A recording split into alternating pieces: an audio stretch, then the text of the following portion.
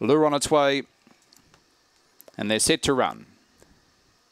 Away and racing, Sassy Ginger began okay from the outside, then got dragged down, showing speed. Demon Bale up on the inside, West on Babe, trying to hold him out, going up to third around the outside. Aeroplane Bob now works into second, then followed by Who's Got Class in behind them. Honcho Manelli, Victor Medi, Sassy Ginger, the favourites. Last of all, Demon Bale leads off the back by two. Aeroplane Bob's camped on the leader, five lengths behind them. Next of all, as they go off the back, was West on Babe, then Sassy Ginger around the corner. Demon Bale to the outside. Aeroplane Bob can't do any more. Demon Wins a length on Aeroplane. Aeroplane Bob. Four lengths away was Honcho Manelli, then followed by West on Bay, Victor Medi, Sassy Ginger, and Who's Got Class to the rear in a time of 29.93.